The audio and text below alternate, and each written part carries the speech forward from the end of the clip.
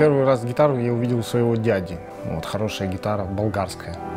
Он мне дал ее, чтобы я занимался, я прижимал эти аккорды, прижимал, прижимал до боли в пальцах.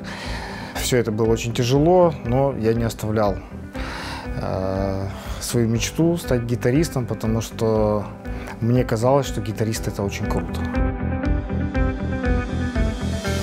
И потом папа принес пластинку Битлз под названием «Вечер трудного дня». А, Мне доставляло большое удовольствие доставать из конверта эту пластинку, открывать крышку проигрывателя, ставить ее, заводить э, 36-ю скорость. И оттуда раздавались всякие звуки. Я не понимал, звучит ли это гитара, звучит ли это бас-гитара. Я тогда в этом всем не разбирался. Но мне очень нравилось это звучание. И тогда я загорелся электрогитарой. Были электрогитары только в доме быта. Я часто подговаривал своего папу, чтобы сходить э, в этот дом быта и посмотреть на гитары, которые там стояли в витринах.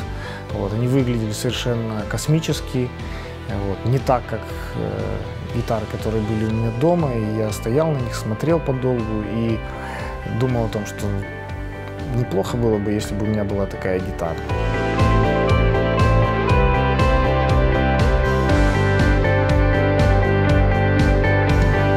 Годы работы в музыкальной сфере я познакомился с большим количеством замечательных людей, среди которых также были мастера э, по гитарам. Постепенно я пришел к мысли о создании национального производителя гитар, ведь э, так здорово, если украинские музыканты будут играть на украинских гитарах, э, которые будут соответствовать их пожеланиям, которые будут хорошие по качеству, которые будут доступные по цене. Э, и вот с этой идеей я начал гитарное производство.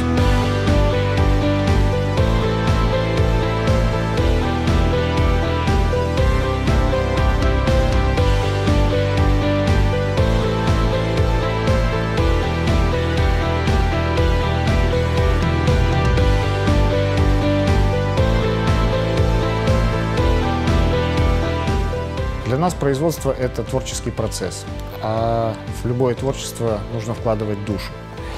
И именно поэтому нам очень приятно наблюдать за тем, как э, кусок дерева принимает сначала знакомые очертания и шаг за шагом превращается в музыкальный инструмент, который позволяет реализовать музыканту его творческий потенциал.